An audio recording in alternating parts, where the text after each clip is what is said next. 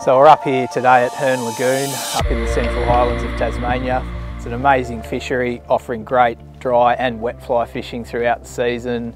Really great conditions here and some lovely brown trout. Go. Well, trout don't like the sun that much when they look up and just see a big glary sort of surface on the water. So it's always good when you're fishing with the wet flies just to try and cover a bit of water. So we'd had a few casts out to our right down here and we just decided to throw one out the other way. Oh, there we go.